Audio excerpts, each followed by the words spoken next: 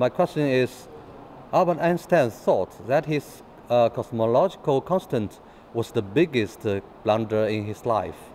With your discovery of the accelerating expansion of the universe and the dark energy, how do you look at the concept of cosmological constant of Albert Einstein? So, in 1917, Albert Einstein was trying to use his new equations of gravity for the first time. And when he did that, he found by his equations the universe should be in motion. Uh-huh. And that was contrary to what we thought about the universe back then, because Edwin Hubble's discovery that the universe was in motion didn't occur for another 12 years. And so he looked at his equations and he said, What is the absolute simplest way I could change them? And he could add something, the cosmological constant, which we think now is like energy that is part of the fabric of space itself. Now, under his equations, it makes gravity push rather than pull. And so he thought by adding this stuff to space, he could balance out the force of gravity that attracts normally and make the universe static. Mm-hmm. Well, okay, it's an unnecessary addition, we thought back in 1929, because the universe really was in motion. So he called it his greatest blunder because he added something he didn't need to do. And in addition to everything else that he did, he could have predicted the expansion of the universe. Now, we move ahead to 1998.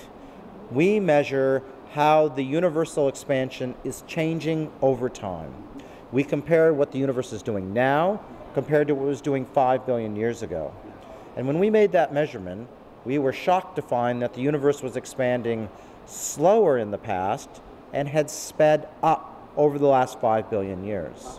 So we need something to push the universe apart. What's the simplest way to do it? The same thing Albert Einstein invented, you know, back in 1917.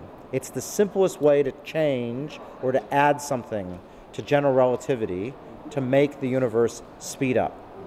So I think of it as that stuff that is part of space itself. It is energy that is part of the fabric of space. When, or rather, what evidence do we need to have that can unequivocally prove the existence of dark energy? So, science is never absolutely black and white. There is nothing that is unequivocal. But what we need to do is to gather more and more evidence. So we see this with gravity.